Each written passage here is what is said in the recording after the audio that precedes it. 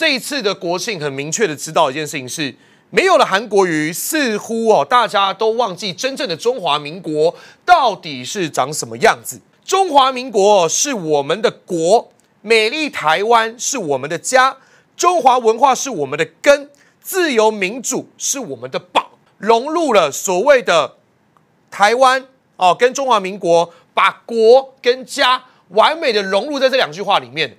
所以我觉得韩国有它的这个，我必须要讲它的高度也好，它的深度也好，我必须要必须要讲它的文学造诣有真的是非常的好。为什么我挥国旗不行？对不对？为什么赖清德不想挥，我挥不行吗？对不对？就热爱中华民国，这就是从这个小细节，从这一个小动作，我们就可以知道了嘛。这一次的国庆很明确的知道一件事情是。没有了韩国瑜，似乎哦，大家都忘记真正的中华民国到底是长什么样子。那刚才我刚才也讲了嘛，过去八年这个中华民国的元素基本上是完全消失，完全被淡化，完全消失不见，完全都看不见了。那没想到呢，这个韩国瑜所说的又黑又瘦的小老头，哎，今年不一样了啊，今年变年轻了，脸色也红润起来了。OK。这就是今年韩国瑜哦带领的这个团队哦打造的国庆，就是有别以往，就是不一样。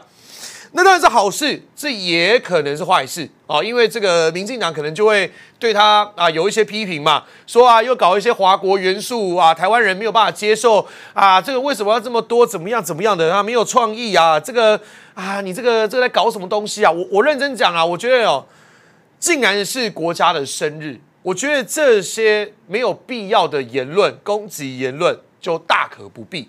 好，如果说你在政策上的攻防，你说你想要怎么样哦？你想要攻击，你想要怎么样防守？我觉得都很正常，都没有关系。但是是国庆，我觉得就是我们尽可能的以国庆为主，好不好？以庆祝为主，好不好？这件事情比较重要。好，那再来是。我觉得哦，韩国瑜其实要提醒大家一件事情啊，就是说我们这个人哦，千千万万不要忘本哦，就是我们的根在哪里哦，就在这边。那这边既然是你的根，那就会是你的家。啊，至于国家的认同这件事情，当然每一个人都不一样了。哦，你可能在路上人家说我是台湾人，我是中华民国人，啊，不不管嘛，但我们都生存在这一个地方嘛。对不对？我们是同岛一命的嘛，大家都是一家人嘛。我觉得这样的解释其实也没有必要啊。每天都在那边讲说什么啊，这个你是哪里人呢？每一天大家都因为这样子，然后有一些论战。我觉得啊，就算了啦，就这样子吧。好了，那我们必须要讲了。今天哦，今天韩国瑜也好，赖清德也好，当然了，最重要的还是发表相关的这个国庆谈话、国庆的致辞嘛。那很多人都开始从中啊，开始找一些哎这些蛛丝马迹。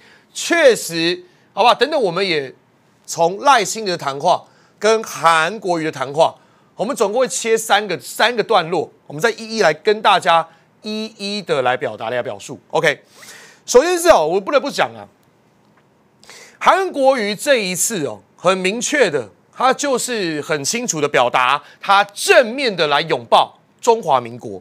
那反观赖清德呢？哎，他好像不得不提中华民国嘛，因为他贵为。中华民国的总统嘛，啊，就没想到他还是从中哦去玩这个文字游戏哦，钻来又钻去。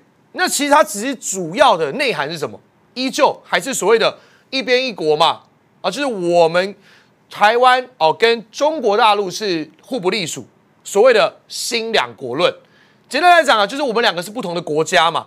所以赖清德还是在中华民国的这个基调底下呢，持续的在里头钻来钻去，钻钻出一个他想象得到，或者是他想做的新两国论。那其实我认真讲啊，今天我们这个相关的这个，不管是中国大陆的外交部也好，我刚刚说到国台办也有做一些回应。其实我觉得他那个措辞哦都是非常强硬的。那这也因此呢，让台湾跟中国大陆之间呢，我必须得说了。可能因为这一次的国庆，赖清德的国庆演说有国庆谈话，可能会有更多的摩擦，而且是双方之间的距离哦哦，真的你不用想靠近啊啊，只会越来越远啊！哦，台湾海峡就这么一点大，啊，但是哎，我们比太平洋的这个这个大这个还更大，所以说嘛，现在的赖清德也好，或许得思考的事情是，你这一次透过国庆演说做出这些事情的话呢，你会把台湾的人民带到哪里？台湾人民不想要开战，台湾人民不想打仗，但是尤其你身为一个总统，你做了这样的表述之后，很多的情势就会出现变化。好，所以大家要特别注意了。好，我们现在继续讲的之前，我们先跟大家做一个 留言，呃，做个回复。好，那黄全明，谢谢你，感谢啊。我们顾小云说大家晚安，我来了。OK，我们的 KC 也上线了，感谢廖帅，谢谢，感谢廖帅，冠军奖杯得第一。我们的红瑞 Rex 阿扁国歌唱了，手就不抖了啊。等下再来讨论哈。这个玉成也是刷奖杯，奖杯刷起来，我们感谢玉成。我们住海边说奇恩奇恩得冠军，感谢我们的林 Bruce 也来了，感谢感谢哦。我们的栩栩如生静哦，也是嗨嗨嗨，Hello Hello Hello Hello。好，我看到大家的这个留言呢，让我觉得精力充沛。好，我们继续讲。OK，那我先跟大家讲一下赖清德的部分好了啦。啊，我们与其去算哦，他在这个讲讲稿当中哦，我相信大家也看了一天了。来，这个中华民国。还是中华民国台湾，还是台湾？到底我们赖清德在中间到底讲了多少次？到底念了多少次台湾？到底诺念了多少次中华民国？啊，每一个人都在从中那边找找找。可是我觉得这不重要，重要的是它的架构，它的主轴是什么？其实讲真的，它的主轴就是一件事情，好不好？虽然他没有讲出台湾独立啊，我没有这样讲，没有讲这么明确，但是他做死的一件事情就是这样嘛。就是中国跟中华中华人民共和国跟中华民国是不一样的存在嘛？他等于再一次的去呈现了这件事情，而且有一句话，我觉得他今天呢是彻底的，好不好？等于是惹怒了中国大陆，他就讲中华人民共和国无权代表台湾，那甚至还有讲到很多了。包含说，你看哦，他的这个这个这句话有讲哦，中华民国曾经在国际社会被驱逐，但是台湾人民从未自我放逐。你看嘛，表面上讲中华民国，那就私底下暗地里又多加了一个台湾，也就是说嘛，中华跟中华民国跟台湾，他在玩这个意识模糊的这种叫混淆嘛，啊，让你不知道说你到底是要讲中华民国还是台湾嘛，啊，他以为大家都看不见，他以为大家都不知道。啊，实际上你的讲稿讲出来，每一个人都可以去分析，每一个人都可以去剖析你这个内容到底想要呈现是什么样的面貌，对吗？那他今天还有讲到了，说，哎，中华民国已经在台澎金马落地生根，和中华人民共和国是互不隶属的，民主自由在这块土地上成长茁壮。中华人民共和国最重要的一句，中华人民共和国无权代表台湾，对吧？就这句话彻底惹怒了中国嘛？那因为我们的宪法就是讲嘛，这个中华民国宪法很清楚的表达是说，中国中国大陆跟台湾这边哦，中华民国哦，就是两个不同的地区嘛，啊，就是这么简单嘛。那你硬是要硬是要无限的上纲到，对，台湾是一个国家，但是你的这样的说法，你是惹怒了中国大陆吗？赖清德，对吗？那说你现在像韩国瑜，我就觉得他讲话就有含谈艺术。就有他的内涵，我不是要捧他，他今天有一句哦，我非常喜欢，我跟各位讲，哦，就讲他讲一句说，我必须要让世界知道中华民国是存在的。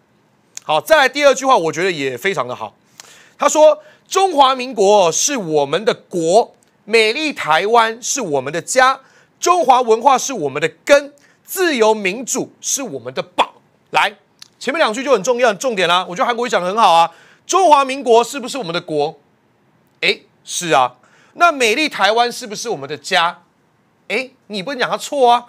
所以这两句话加起来是什么？你知道吗？中华民国台湾就是我们的国家。它的白话文可以这样讲嘛？但是它在这个字里行间之内，它融入了所谓的台湾。哦，跟中华民国把国跟家完美的融入在这两句话里面啊，所以我觉得韩国有它的这个，我必须要讲它的高度也好，它的深度也好，我必须要必须要讲它的文学造诣有真的是非常的好。OK，好，我们谢谢嘉龙，大家记得按赞哦，感谢感谢感谢嘉龙哈，感谢感谢。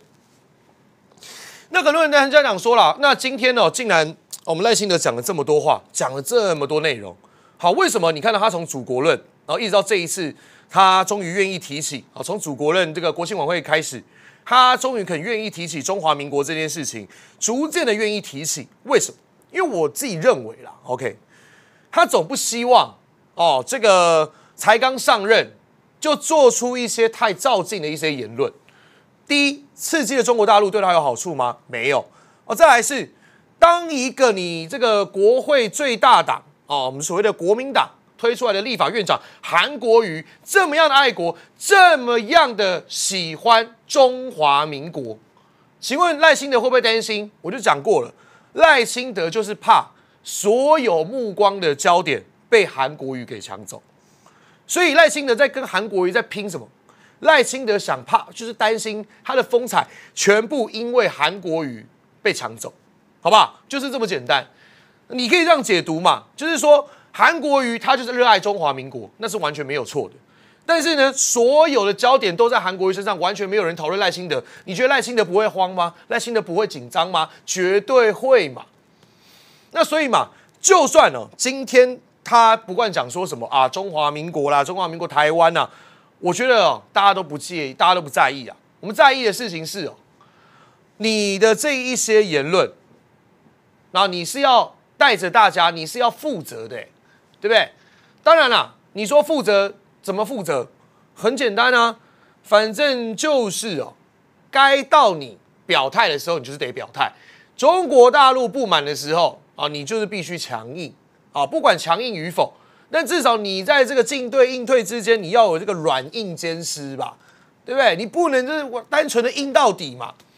那虽然说这些赖清德有点开始做一些巧妙的变换了，但是我觉得哦，这个不管深度也好，功力也好啦，哦，讲到这个国语加中华民国跟台湾这几件事情哦，还是韩国瑜略胜一筹，好，真的是必须要这样讲。唉，我们的成语说早就被抢走了，没错嘛，讲的非常正确。唉，再给大家看一下，尤其这一幕，我觉得今天这一幕也是很有趣。简单讲啊，就是哦，今天今年哦，就是我们哦，除了这个文宣少物嘛，有这个这个凉凉凉呃凉巾，是不是？就是放在那个脖子上会比较凉嘛，凉巾。还有一些什么保温瓶啊等等之类的，但是呢，今天呢，我们看到就是相关的这个奥运选手，我们的奥运好手，好，就是通过观礼台的时候，那我们的韩国瑜哦，韩院长因为热爱中华民国，就就自顾自的拿起了国旗，想要那边挥挥挥挥挥，那结果这个举动呢，让这个赖清德哦，是看了都傻眼，看一下，哎，没有声音哦。